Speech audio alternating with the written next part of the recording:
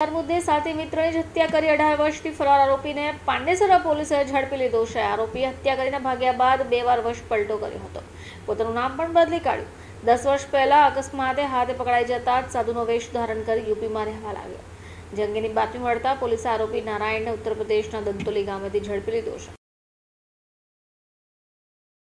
Pandesara police station विस्तार में housing road बन रहा था 2006 में तो वहाँ पे रात को दो सिक्योरिटी वालों के बीच में झगड़ा हुआ और एक ने दूसरे को सरिये से मार दिया। और जो मरने वाला था, उसका नाम भोला रामदीन पटेल था।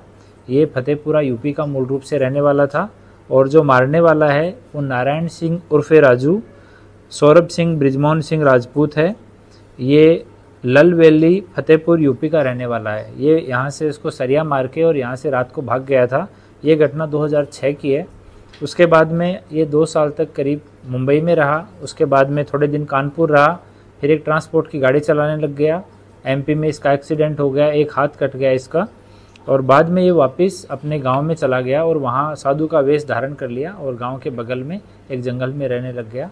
तो बातमी के आधार पे पांडेसरा पुलिस स्टेशन के सर्वेलेंस स्टाफ ने इसको वहाँ से अटक किया है और अभी अटक किया है, अभी कोर्ट के सामने प्रोड्यूस करके आगे की कार्यवाही की जा रही है।